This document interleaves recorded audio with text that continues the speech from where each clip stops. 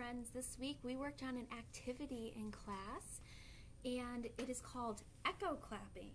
And the word echo means to repeat after something. It means to repeat it after it's been done.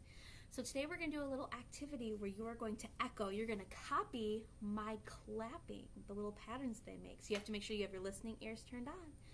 So let's get our listening ears turned on. We're to turn our hands like this and go. Can you do that? Listening ears are turned on.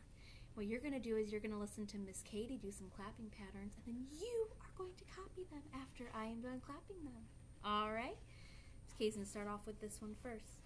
First, Miss Katie does it, and then you're going to repeat after me. You're going to echo me. All right? Okay, here's my first clap. We're going to go clap, clap, clap, clap, clap. I'm going to do it again slowly.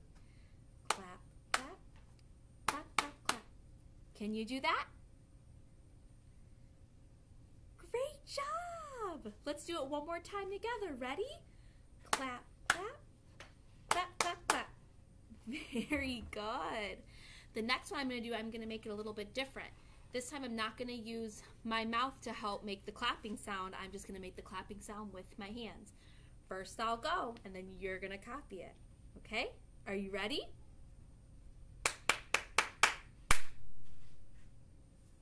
I'm going to do it one more time.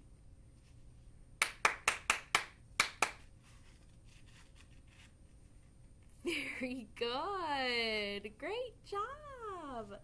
Miss Katie's going to do one a little bit different this time. All right? You ready?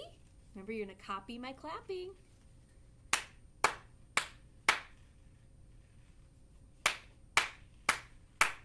All right, it's your turn. awesome job. We're going to do one more, and Miss Katie's going to do something different with her hands this time. I am going to do a pause in the middle when I'm clapping, okay? So make sure you're watching out for that pause. So we're to go.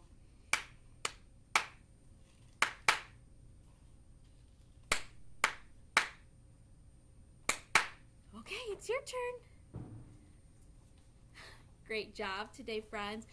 Might be fun to work on some clapping with your family at home and to have them echo you and make your own patterns. All right, we'll see you later.